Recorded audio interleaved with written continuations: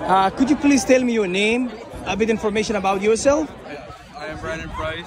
I just graduated from UB in uh, business administration. Um, with me. Very happy to be here today. Okay, uh, I would like to say congratulations from deepest part of my heart Thank you so and much. wish you the best of everything. But could you tell me that how was your education here? The education here was very nice. I every day I came to school looking for a new opportunity, and I and I, they gave me a new opportunity, and I, I learned a lot. And how many years did it take to complete it? Four years. Four years. Okay, it was four years long years. So, Yeah, four are you here today with your family or alone? I'm here with my family, my dad, my mom, and Okay, that's that up. So, okay, proud of the dad. And who else is here? my mom. Okay, congratulations to you. And who else?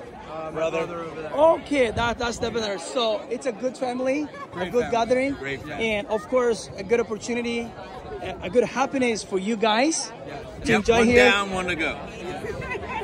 That what? Yeah. Okay, Wonderful role models. okay, wow. I'm proud of you too. Let me take pictures as well. Yes. Wish you all the best. So Thank you you. can see my, my YouTube channel. Good luck. Thank UB, you. University of Buffalo, UB. You guys. Uh, you, you'll replenish it Bart. whoever comes in next.